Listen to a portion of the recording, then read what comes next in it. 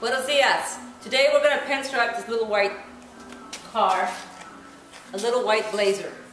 And the products, of course, that I will be using will be the one-shot lettering enamel, the uh, fine line tape in the blue, because the darker color shows up better when you tape it off a dark color than the uh, green fine line. You can't see that. Also, the wax and grease remover, followed by the Windex, because I can never stress prepping the surface because that is so important. If you don't do that, all your work is crap. So uh, I'm going to start by taping off the vehicle and uh, getting that part. I'm using the blue tape like I said before because it shows up better than the uh, green fine line. Plus on a white vehicle, if it's not, well, on any vehicle, if it's not straight, it's a piece of crap. But you just want to one real good. Actually, this blue is even better for the video. Shows up.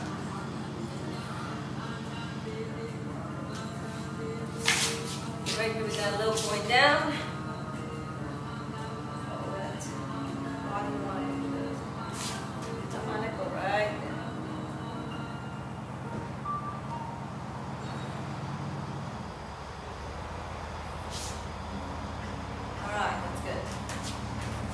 First line. And the rest of my lines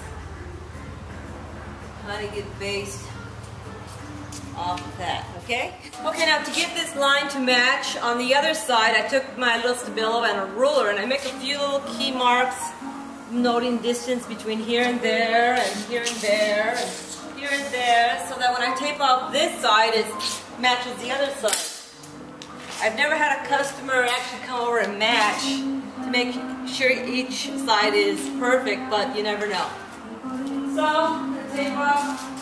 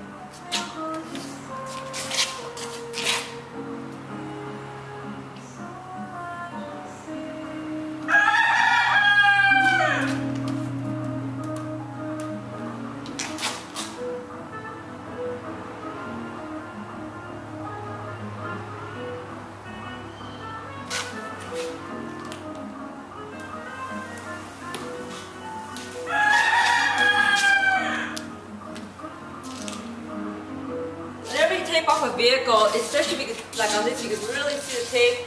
Stand here and look at it this way. You can really see any waves or any weird things. And now is the time to correct them, not after. Very good. Okay, so now I have my two colors mixed. I'm using one-shot lettering enamel in the color magenta. Also magenta mixed with a little uh, white so that I'll have two colors on there. And of course in each of the paint I put a little bit of the hardener for added durability and gloss. And when I pinstripe this thing, I'm going to use two different brushes so I don't have to stop and clean out my brushes because I'm too lazy. So, um, okay, time to do a little painting on the truck here or on the car. As you can see, I got it taped off. Let me show you. Uh, pretty simple design, not too complicated. Basically, it's going to have two stripes around the whole vehicle. Little design on the back. Little doohickey there. Little deal on the uh, hood, as you can see. And once again, like I said before, I use the uh, the the blue tape because it shows up better on the white. Oh, look, there's a little boo-boo in the car. Okay, well, I'm gonna play now. I just about got the pen striping wrapped up, the straight line part. I also, I used two coats of paint because um, one-shot lettering enamel isn't the paint it used to be back, uh, say 20 years ago. It doesn't have lead in it anymore. We miss the lead. So I, uh, I give everything two coats of paint so that it will withstand the world and the smog and global warming and um, all those things.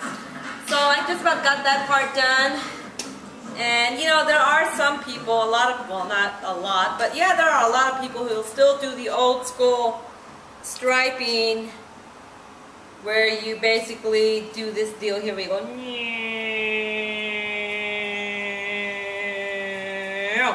And that's fine. And there are jobs where you have to do it that way. You cannot tape it off. Um, at the Rolls-Royce plant where they pinstripe the Rolls-Royce the guy's there he doesn't use tape he just goes and it goes right down the line and makes his deal there and like I said, there are a lot of cars where you have to still hand pinstripe it without any tape. That's fine too. That takes a little more practice. But for this car, we're not doing that way. This is not a Rolls Royce, okay? Along with the uh, pinstriping here, the lady wanted to have like a rose painted on each side here. So I kind of wiped off some of the striping that was underneath the rose because I didn't want the lines going underneath the rose. It would kind of mess it up.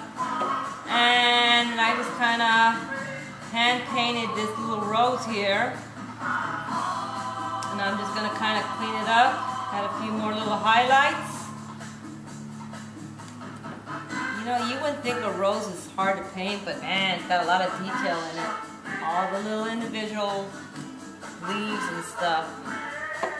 I'm going to paint this on there. And uh, get it on there. The, the overall color is very light because I don't want to put a real dark colored uh, rose and leaves on a white surface. It wouldn't look good that way. It's better to keep it on the lighter side. So I got this just about done.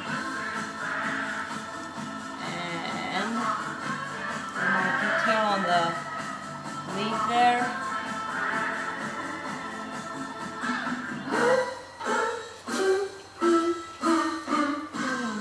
Also, you know, I got a little bleed out with the tape, and now that the thing's tacked up for a little bit, it's a lot easier to wipe these off. If you wipe them off right away, sometimes you make a bigger mess. If you have one of these, you can get those at any auto body supply or even Coast Airbrush. It's a really good tool for getting in little crevices without making a big mess of your pinstripe job. There you go. Clean that up a little bit. It's a bug. okay, I just about got this job wrapped up and I just need to do the little ends and stuff like that. And on the ends, you really don't want to tape that stuff off to get a natural pinstripe look to it. You know, you do it by hand, you just come in and go wee, and uh, get those things done by hand. Gotta do it on this side. Excuse my back side here.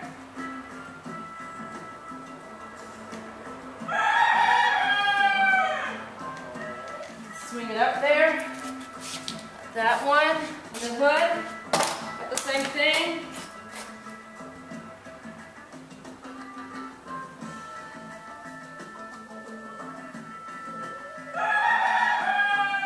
There you go. And like I said, you know, that kind of stuff you want to tape off. You want to do it by hand. And it may take a little practice, but um, that's how you do it.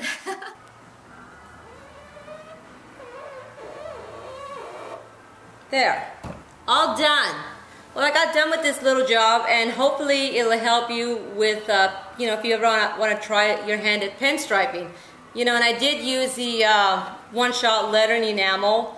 You could, after you become very accustomed to doing pinstriping, try the House of Colors um, urethane striping and lettering enamel. It's, it's a pretty good product. It's made for uh, if, if the vehicle is going to get cleared over with an automotive clear. If not, just go with the one shot there you go. I'm going to uh, take the camera back and uh, kind of show you the finished vehicle. It's, uh, like I said, it's a simple job. That's why I thought it would be really good to uh, do a video with this one in particular. And, you know, if you ever want to see some really good examples of really good pen pinstriping, go to the, uh, mostly the lowrider car shows. They got the best stuff, the, the lowriders are not afraid of the color and the design. In fact, they want a lot of color and design. Um, if you live in the southern states, California, Texas, they got the best the best cars. Up here, we, we don't have much. Down there, they got it. Plus, they have the uh, the really good stripers down there because the demand is higher and the quality, the the the low riders are used to seeing a certain quality, so they're more um, their eye is more accustomed to a more uh, nice job. So, all right, I'm gonna throw my toys away, and like I said, I'm gonna take the camera back and show you the uh, finished job. So there's the uh, finished job, not too complicated, pretty simple.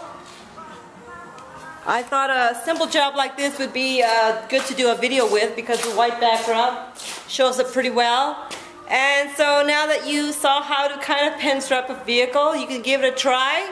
It's not that hard. Of course, you know, just using a brush takes a little practice. But you can do it if you really want to do it, okay? Hasta la vista. See ya.